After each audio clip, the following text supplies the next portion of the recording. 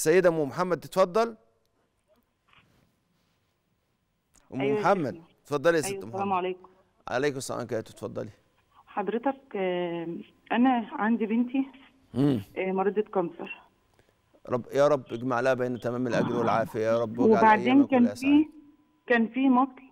المصل دوني ب 115000 أنا استلفت ودينت للناس وجبت قروضه وأنا عارفة إن ربنا بعاقبني عشان القروضه دي لأن أنا كنت قلت حد الله بيني وبينها ما عدتش هجيبها تاني بس أنا قصدت بيبان كتير عشان تساعدني ومحدش وقف جنبي فين سؤالك يا حاجة ام محمد بس مين قال لك إن أنت لو لو إنك أنت جبت قرض عشان تصدق عشان تدفعي قيمة المصل ده لبنتك يبقى أنت ده حرام عليكي ودوت هيدخل عليكي بالخراب ومين هو؟ فعلا خش عليا بالخراب بس أنا اللي شايلة المسؤوليه ده غلط. ده غلط ده غلط اللي حاصل ده اللي انت فيه دوت ده تمام الدرس.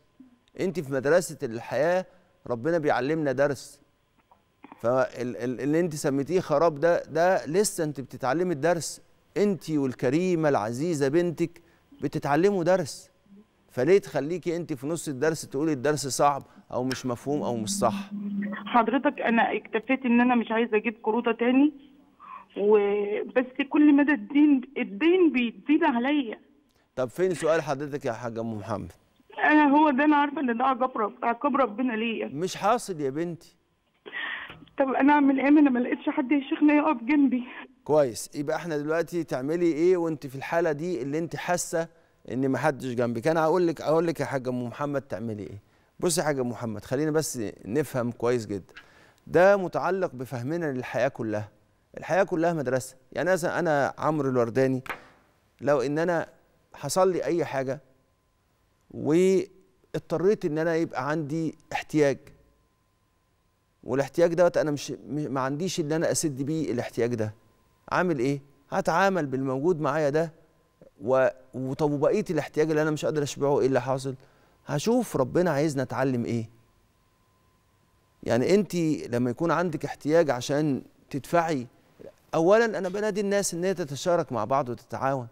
تتعاون على البر والتقوى وربنا سبحانه وتعالى يكرمهم. وكل ما الإنسان بيساعد حد الوقت اللي إحنا فيه ده أهم وقت. أنا عايز أقول بس إن الوق- الوقت اللي إحنا فيه دوت هو الوقت اللي بتتضاعف فيه العطايا والحسنات والبركات من عند رب البرية. لإني من فرج عن مؤمن كربة من كرب الدنيا فرج الله عنه كربة من كرب يوم القيامة. وده معناه إن هو كمان بيفرج عنه كرب. فاللي إحنا فيه ده أهم وقت بيحصل فيه التعاون والتضامن والسعي.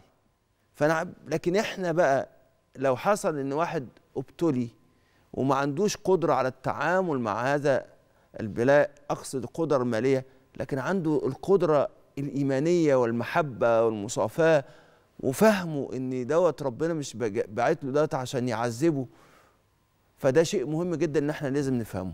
واضح كده؟ فيا سادة يا كرام يا أحباب يا سادة يا أيها المنورون أرجوكم لازم نفهم إن إحنا الدرس عندنا ما يجيش حد في نص الدرس ويقول إن الدرس ده ما ينفعش يكون في المقرر. خالص لأن على فكرة إحنا في وسط الدرس ده ربنا سبحانه وتعالى بيعلمنا ويفتح علينا فيوضات كتيرة جدا جدا جدا.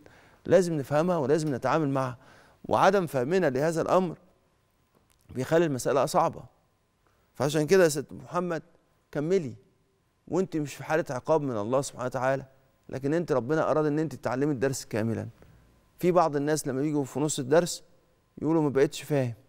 المسألة بقت غامضة. لكن هو لما يصبر ربنا يفتح عليه. إنما يوفى الصابرون أجرهم بغير حساب.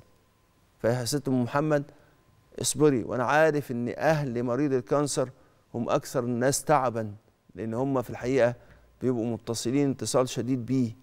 فعشان كده بقول لك استمري وافعلي اللي تقدري عليه وانت مش في حالة عقاب من الله إن هو يرجع المرض تاني أو يحصل أي حاجة ده مش معناه إن انت في حالة عقاب.